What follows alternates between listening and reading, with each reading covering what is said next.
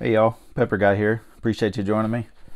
Uh, so this week we've got, I've just got a little update on my uh, mild pepper growing series. As you can see, we've had some pretty good growth.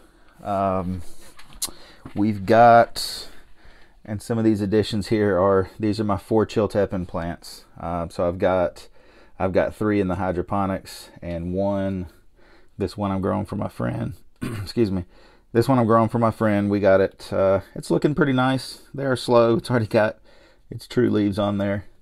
Um, but anyways, uh, my jalapenos and santakas and my one Piquin, Piquin are uh, are growing really well. Um, so most of them don't have flowers on them. You can see like this jalapeno, no no flowers in there. Uh, but we do have a couple flowers in this jalapeno plant. Um, it's already, you see it's forking off there. It's got a nice fork there. Um, what we'll want to do with these, let's see, we've got one, two, three, we've got, got about four flowers in there. All we're going to do is just pick those off for right now. We don't need to top this thing. Um, topping it would be very counterproductive for me. I'm not trying to um, I'm not trying to delay uh, my plants right now. You know, um, sometimes topping them would be uh, very necessary. It's just it just really depends on your situation. Um, and for those who don't know, topping is basically just just clipping off the top parts of the plant. Um, you know, like say this one here I, this plant's a little too young, I would say, to top it, but let's see, I'll show you one that, well, this one here, for example. So I picked off a couple flowers. Um, if I were to really want to top it, say I planted this way too early and you know we're still getting frost out here, which I'm in Nebraska. It's there's still snow everywhere. Um, topping it, you could just cut it anywhere, uh, like right about here, every one of these nodes there's going to be there's going to be new shoots coming out. So by topping it you're you're not killing it you're just um, you're just kind of delaying it setting setting the plant back a little bit.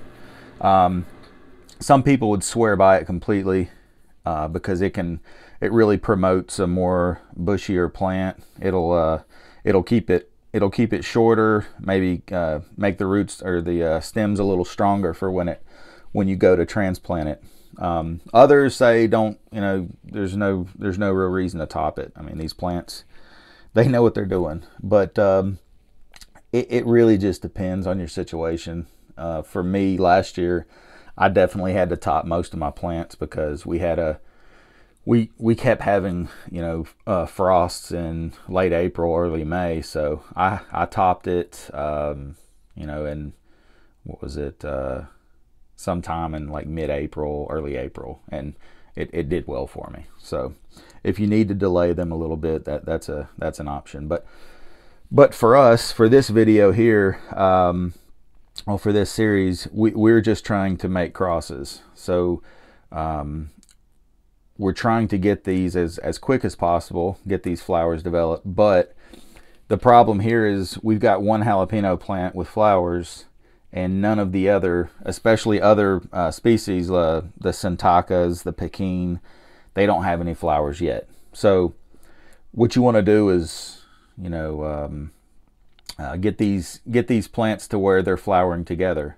So if you got one that's flowering, just all you got to do is just snip them off with your fingers, or if you can if you can cut them uh, with scissors or something, that's fine.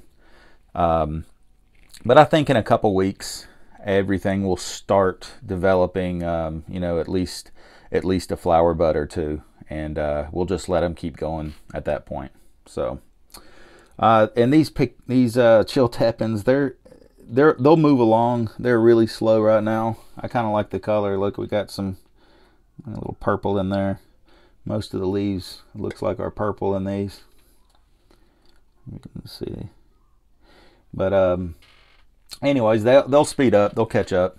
And we'll be crossing the Santakas and the jalapenos together. So if they start flowering around the same time, we'll, we'll just let those flowers go and, uh, and we'll get into the crossing. I'm, I'm really looking forward to that part. It's, it's a lot of fun.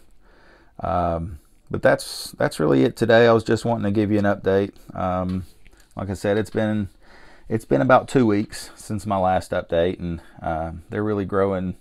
They're growing good. There doesn't look to be any problems, any issues. So um, hopefully that continues. But uh, yeah, you'll also get to see how again how quick these will shoot up compared to this one.